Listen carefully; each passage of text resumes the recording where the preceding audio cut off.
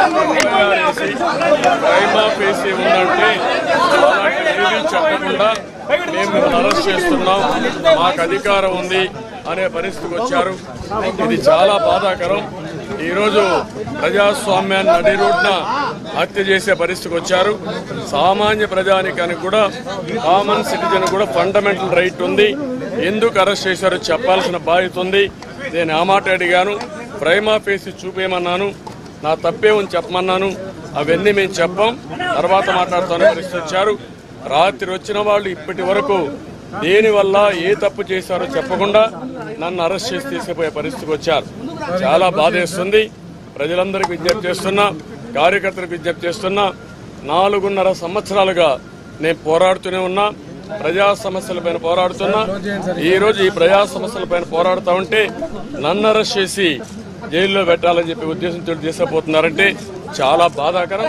దీన్ని నేను చాలా తీవ్రంగా ఖండిస్తున్నాను ఒక ప్రణాళిక ప్రకారం నన్ను ప్రజల సమస్యల్ని పోరాడనీయకుండా అడ్డుకోవాలనే ఉద్దేశంతోనే భయభ్రాంతులు చేసే హక్కు ఉంటుంది ఎఫ్ఐఆర్లో ఏ సెక్షన్ ఉంది దేనికి అరెస్ట్ చేస్తున్నారని చెప్పాలని ఉంటుంది. కానీ ఆ నిబంధనలు ఎందుకు పాటించకుండా ఇంత కఠినంగా తీసుకెళ్ళాల్సిన అవసరం ప్రైమా ఫేసి ఉండాలి తప్పు చేసిన వాస్తవాన్ని నిరూపించాలి అప్పుడే కేసు పెట్టాలి. అది కూడా పెట్టకుండా ఏదో పెట్టావని చెప్పి కావాలని చెప్పి చేసే పరిస్థితికి వచ్చారు. ఏదేమైనా ధర్మం గెలుస్తుంది న్యాయం గెలుస్తుంది. వీళ్ళు ఎన్ని చేసినా కూడా ప్రజల తరపునే ముందుకు పోతారు.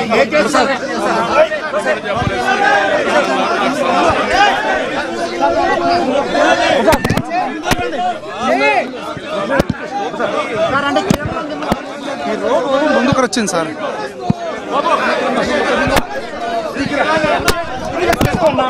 ఏముంది? ఏడైనా స్పందన ఉందా? ఆ స్పందన కరువు అయ్యే కదా దత్తపుత్రుని హుటాహుటిని పిలిపించుకొని రాత్రి ఓవర్ యాక్షన్ చేయరా నాయన? కొంచెం అటెన్షన్ వస్తుందని రాత్రి ఇదంతా దానికోసమే కదా. అచ్చెన్నాయుడే ఆడియో రిలీజ్ టెలికాన్ఫరెన్స్లో చెప్పిన ఆడియో ఉంది కదా? అంటే పెద్దది వినిపించలేను. అది జనాలు రావట్లేదు నాయకులు రోడ్డు ఎక్కట్లేదు అని చెప్పింది. సాక్షాత్తు ఈరోజు తెలుగుదేశం పార్టీ అధ్యక్షుడిగా ఉన్న అచ్చెన్నాయుడు గారే చెప్పారు. ఏమని? ప్రజలు రావట్లేదు. కార్యకర్తలు రోడ్డు ఎక్కట్లేదు అని. ఎందుకు? మీ పార్టీ పరిస్థితి అది. నిజంగా పార్టీగా ఊపుకుంటే అవి ఇంకోలా ఉంటాయి. లేదు కాబట్టే అవినీతి చేశాడని ప్రజలు నమ్మారు కాబట్టే కార్యకర్తలు నమ్మారు కాబట్టే తెలుగుదేశం పార్టీ నాయకులు సైతం నమ్మారు కాబట్టే స్పందన కరువైంది. జగన్మోహన్ రెడ్డి గారు మంచి పని చేశారు. జగన్మోహన్ రెడ్డి గారు నిజాయితీగా వ్యవహరించారు. జగన్మోహన్ రెడ్డి గారు ప్రొసీజర్ ఫాలో అయ్యారు. జగన్మోహన్ రెడ్డి గారు ఎవరు ఎంత తప్పు చేసినా ఎంత పెద్దవాడైనా నేను ముఖ్యమంత్రి చేసినా వదిలే ప్రసక్తే లేదు చట్టం తన పని చేసుకోబోతుంది అని ముందుకు వెళ్ళాడు అనేది అంటే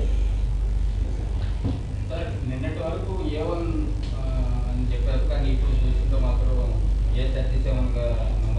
వన్ చెప్పారు. ఏ చెప్పారా? పత్రికలు ప్రకటన చేస్తే ఇప్పుడు ఈ ఆంధ్రజ్యోతి రాసింది ఏమన్నా గజెట్టా? ఈనాడు రాసింది ఏమన్నా గజెట్టా? కాదు కదా. గవర్నమెంట్ అఫీషియల్గా చెప్పిందా ఏమన్నా నాడైనా? సిఐడి చెప్పిందా ఏమన్నా ఆడైనా మీరు మీరు ఊహించుకొని పత్రికలు అంటే పత్రికలు రాసేవన్నీ కూడా గజెట్లా కాదు కదా. ఊహాగానాలు. ఊహాగానాలు అంతే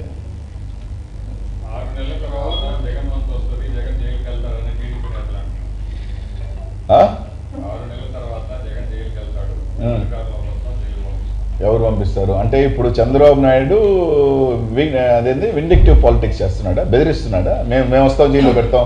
అంటే మమ్మల్ని జైల్లో పెట్టద్దు మేము జైల్లో పెడతాను నువ్వు వచ్చేది లేదు సచ్చేది లేదు. ఆరు జన్మలు ఇంకా. అంటే ఈ జన్మ అయిపోయింది కదా ఏడు అంటారు కదా. ఇంకొక సిక్స్ అయినా తెలుగుదేశం పార్టీ ఇంకొచ్చే పనే లేదు. తెలుగుదేశం పార్టీ చచ్చిపోయిందా? కార్యకర్తలు బయటికి రావట్లేదు నాయకులు రావట్లేదు నచ్చం నాయుడే చెప్తుంటే ఇంకేంది? ఆ జిల్లా పార్టీ ఆ రాష్ట్ర అధ్యక్షుడే చెప్తుంటే ఇంకా ఆ పార్టీ ఉండేది ఏంది? ఆ పార్టీకి కప్పెట్టేశాం అయిపోయింది.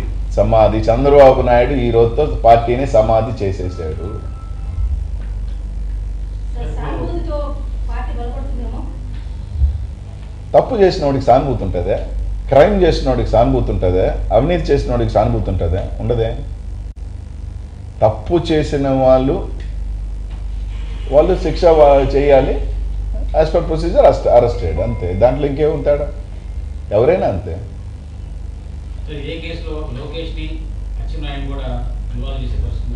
అంటే దీంట్లో ఆయన ముడుపులు ఈయన ఆదేశాలు జారీ చేశాడు. ముడుపులు ఆయనకి వెళ్ళినాయని కదా? అది పోలీసు సిఐడి విచారణలో అది ఎలా వెళ్తుందో అది మనం ముందు చెప్పలేం కదా. అరెస్ట్ చేస్తామని మేము చెప్పలేము కేసులు ఉంటుందని మనం చెప్పలేము బట్ ఒక ఆధారాల ప్రకారం చూస్తా ఉంటే వాళ్ళ దీంట్లో ప్రకారం ముడుపులు సుపుత్రుడికి వెళ్ళినాయని. సుపుత్రుడికి వెళ్ళినప్పుడు ఉంటుందా లేదా అన్నది అది యాజ్ పర్ లా వెళ్ళాలి కానీ మనం చెప్పలేం కదా.